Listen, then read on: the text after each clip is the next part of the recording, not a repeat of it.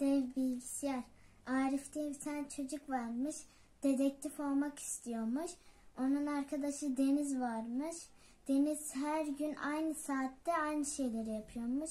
Aynı saatte uyuyormuş. Aynı saatte Akif e, Deniz'in aynı saatte her şeyi yaptığını not almış. Sonra bir gün Deniz evine girdiğinde Akif de onun evine gir- girecekmiş. İki kere kapıyı çalmış hiç kimse açmamış. Akif içeri.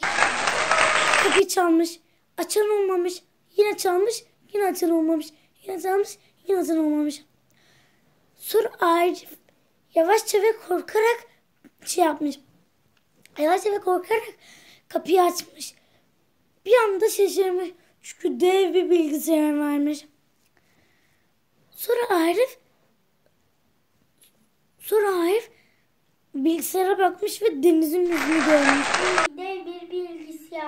Bilgisayarın içinde deniz. De Aa demiş Arif. Bu bilgisayar denizi kontrol ediyor. Acaba bunu bilen tek kişi ben miyim? demiş. Acaba bu bilgisayar herkesi kontrol mü ediyor demiş.